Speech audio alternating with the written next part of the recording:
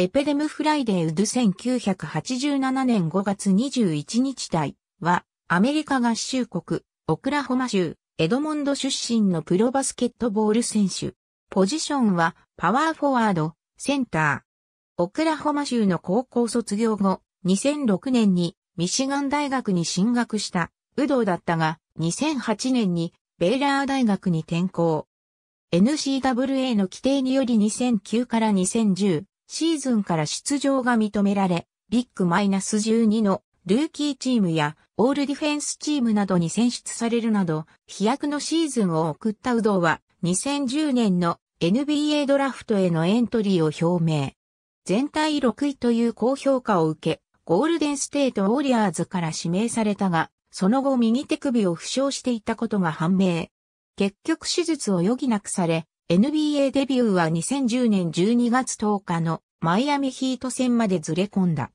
その後も攻撃力の乏しさがあだとなり、伸び悩んだウドウは2012年3月13日にアンドリュー・ボーガットらとのトレードでモンタ、エリス、クワミ・ブラウンと共にミルウォーキーバックスに放出された。ちなみに、ボーガットはその後2015年にウォリアーズで NBA チャンピオンを経験。一方バックスが獲得したエリスは2013年で対談。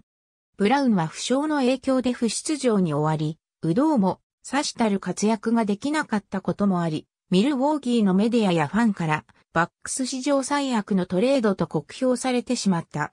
結局ウドウは2013から2014シーズン終了後にウォーリファイングオファーの提示を受けることもできず、完全 FA になった。2014年9月4日、ロサンゼルスクリッパーズと契約。クリッパーズでは33試合の出場にとどまり、平均出場時間も約4分に終わった。